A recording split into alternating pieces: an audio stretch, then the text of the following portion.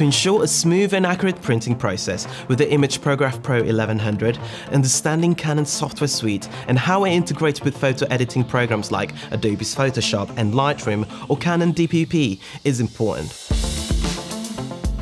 Canon Professional Print and Layout is the link between your image and the final printed product. Specifically designed for Canon's Pro printers, PPL brings various printing functions into one easy to manage interface. It works either as a plugin to your photo editing software or as a standalone application and is available for Mac or PC. From the software, you can manage paper types, sizes and borders, set color management, and paper profiles, and soft-proof color tones in a what you see is what you get environment.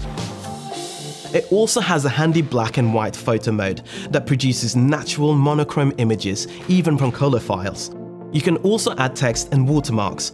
But by far my favorite feature of PPL is the pattern print function that creates a single sheet with multiple versions of the same photo with different color, brightness and contrast adjustments. You can select your preferred shot for the final print, saving your ink, paper and time.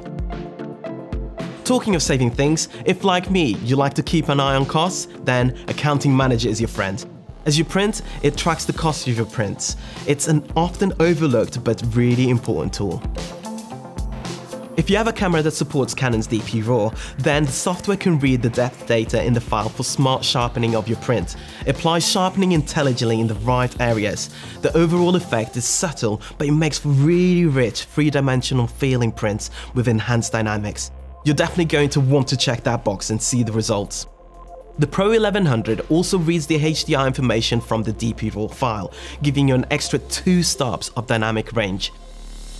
When you start experimenting with different papers, and it's something I recommend you try, it's important that the printer understands how to handle and apply ink to the paper that you've loaded in. The Media Config tool is where you can send this information to the printer. Each manufacturer will produce an AM1X file to go with the paper.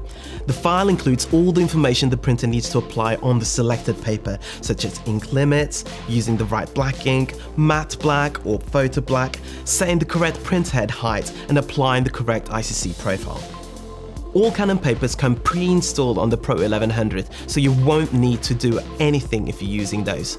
There's a lot of very high-tech stuff going on, but if you stick within the Canon ecosystem, you can be confident that printing show-stopping images is simple.